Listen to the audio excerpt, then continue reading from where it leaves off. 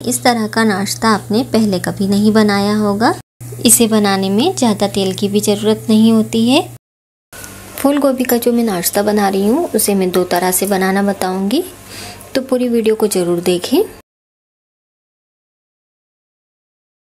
इसे बनाने के लिए सबसे पहले मैंने 100 ग्राम फूल गोभी लिया है। फूल गोभी को मैंने अच्छे से साफ़ कर लिया है और इसे वॉश कर लिया है। अब फूल गोभी को हम कद्दूकस करेंगे। तो कद्दूकस करने के लिए मैंने इस तरह के ग्रेटर का यूज़ किया है। तो पूरे फूल गोभी को हम कद्दूकस कर लेंगे। फूल गोभी को मैं बड़े वाले ग्रेटर से कद्दूकस कर रही हूँ। अगर आपके पास इस तरह का बड़ा वाला ग्रेटर नहीं है तो आप बारीक वाले ग्रेटर की हेल्प से भी इसे कद्दूकस कर सकते हैं। फूल गोभी को मैंने अच्छे से साफ़ कर लिया है। फूल गोभी में कीड़े आते हैं तो इन्हें अच्छे से देख लें और अच्छे से साफ़ करें।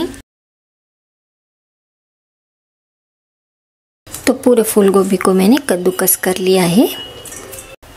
फूल गोभी को मैंने कद्दूकस किया है। आप चाहें तो बारीक बारीक कट भी कर सकते हैं। अब इसमें हम डालेंगे आधा कप दरदरी पीसी हुई हरी मटर।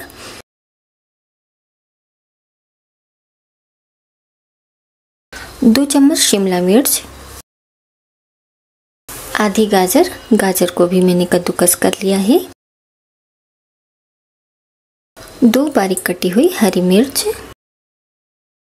स्वाद के अनुसार डालेंगे नमक। आधा चम्मच लाल मिर्च पाउडर।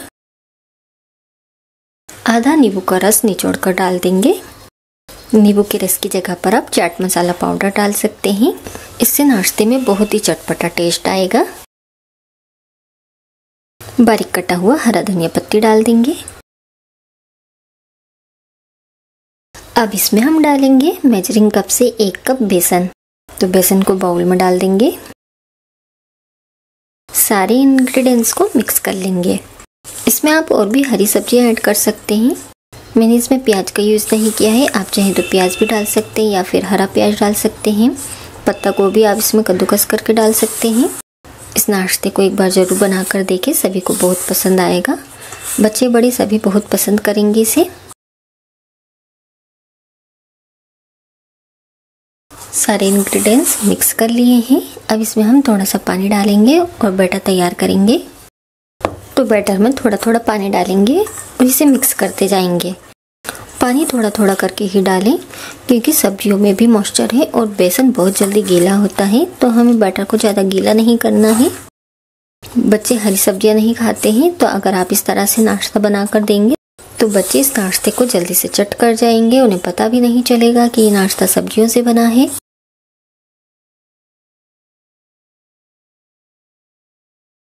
आप देख सकते हैं, मैंने पानी डालकर इस तरह से बैटर तैयार करा है। इसे मैंने पतला नहीं करा है। बस इस तरह से हमें इस बैटर की कंसिस्टेंसी रखनी है।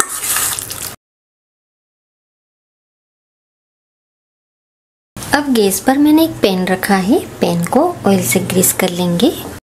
मैंने छोटे वाले पैन का यूज़ किया है।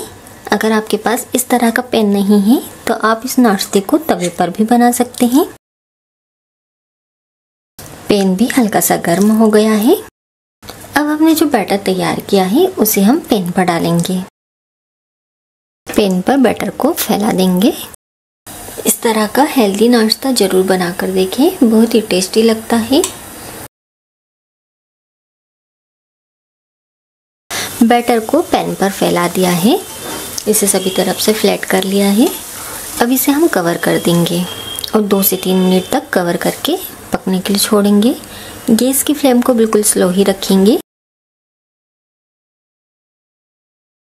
दो से तीन मिनट हो गए हैं। हम ढक्कन हटा लेंगे। इस शीट के ऊपर ऑयल ग्रीस कर लेंगे। अब इसे हम पलट लेंगे। तो शीट को मैंने पलट लिया है। आप देख सकते हैं, एक साइड से ये नाश्ते की शीट पक चुकी है। अब इसे हम ओपन ही पकाएँगे, कवर नहीं करेंगे। तो एक से दो मिनट तक दूसरी साइड से भी पका लेंगे। गैस की फ्लेम को स्लो ही रखेंगे। तो दो मिनट हो गए हैं, इसे हम पलटेंगे। तो देखिए, दूसरी साइड से भी ये नाश्ता पक चुका है, इसे प्लेट में निकाल लेंगे। तो इस तरह से एक प्रकार का नाश्ता तो मैंने आपको बनाकर दिखा दिया है। अब हम दूसरे नाश्ते की तैयारी करते हैं। अब मैंने केक टिन लिया है तो केक टिन को ऑयल से ग्रीस कर लेंगे। अगर आपके पास इस तरह का केक टिन नहीं है तो आप किसी भी प्लेट में इस नाश्ते को बना सकते हैं। इसे ऑयल से ग्रीस कर लेंगे।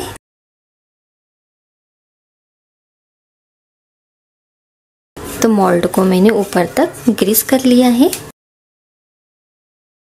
अब बाकी के बचे हुए बैटर को हम केक टिन में डाल देंगे।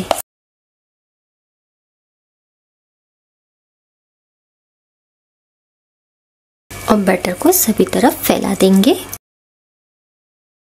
इस तरह से आप इस नाश्ते को दो तरह से बना सकते हैं। और दोनों तरह का नाश्ता बहुत ही टेस्टी लगता है। तो सारे पूरे बैटर को मैंने केक टिन पर फैला दिया है। आप देख सकते हैं और इसे टैप कर लेंगे ताकि बैटर जो है पूरी तरह से फ्लैट हो जाए। तो अब हम चलते हैं गैस की ओर। एक कढ़ाई में मैंने पानी डालकर गर्म होने के लिए पहले से ही रख दिया था। तो पानी भी गर्म हो गया है। आप देख सकते हैं पानी में बबल्स उठने लगे हैं। अब कढ़ाई में हम एक स्टैंड रखेंगे। स्टैंड के ऊपर बैटर वाले टीन को रख देंगे। अब इसे कवर कर देते हैं। कवर करके 15 से 20 मिनट तक इसे स्टीम होने के लिए छोड़ेंगे। गैस की फ्लेम को मीडियम रखेंगे। 15 मिनट हो गए हैं, ढक्कन हटा लेंगे। इस नाश्ते को हम चेक कर लेते हैं, जो नाश्ता है वो पका है या नहीं। तो इसके लिए मैंने एक टूथपिक ली है। टूथपिक को नाश्ते के अंदर डालेंगे। तो आप देख सकते हैं, टूथपिक क्लीन निकल कर आई है। गैस बंद कर देंगे और टीन को बाहर निकाल लेंगे। नाश्ता पकाते पकाते कढ़ाई में पानी कम हो जाए तो आप पानी और डाल दें। तो मोल्ड को मैंने बाहर निकाल लिया है। अब इसे हम ठंडा होने के लिए छोड़ेंगे। आप चाहें तो इसे पंखे के नीचे रखकर ठंडा कर सकते हैं। तो इसे मैंने ठंडा कर लिया है। अब इसकी किनारी को अलग कर लेंगे। तो ठंडा होने पर किनारी थोड़ी थोड़ी अलग हो गई है। चाकू की हेल्प से पूरी तरह से इसे अलग कर लेंगे। इस नाश्ते की रेसिपी आपको कैसी लगी, मुझे कमेंट्स करके ज़रूर बताएँ। तो अब इसे हम पलटा लेंगे और टेप करेंगे। इस टीन में से बाहर निकाल लेंगे। तो चारों किनारी अलग कर ली है। अब इसके हम पीसेस कट कर लेंगे। तो आप अपने मनचाहे शेप में इसके पीसेस कट कर सकते हैं। तो मैंने इसे रेक्टेंगल पीसेस में कट किया है। सारे पीसेस निकाल लेंगे। तो सारे पीसेस मैंने केक टिन में से बाहर निकाल लिए हैं। अब इस नाश्ते को मैं सेलो फ्राई करूँगी। आप चाहें तो इस नाश्ते को बिना सेलो फ्राई करें चटनी के साथ सर्व कर सकते हैं। तो अब हम चलते हैं गैस की ओर। गैस पर मैंने एक तवा रखा है। तवे पर दो चम्मच तेल डाल देंगे।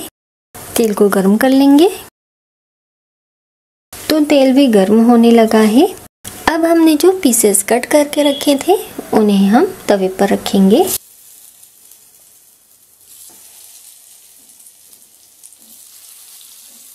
मीडियम फ्लेम पर सारे पीसेस को सेलो फ्राई कर लेंगे। चार से पाँच मिनट तक मैंने इन्हें एक साइड से सेलो फ्राई कर लिया है, अब इन्हें पलट लेंगे। तो आप देख सकते हैं, ये पीसेस गोल्डन ब्राउन हो गए हैं, सभी को पलट लेंगे। इसी तरह से दूसरी साइड से भी सेलो फ्राई कर लेंगे। सारे पीसेस सेलो फ्राई हो गए हैं। दूसरी साइड से भी आप देख सकते हैं, सेलो फ्राई हो गए हैं। इन्हें एक प्लेट में निकाल लेंगे।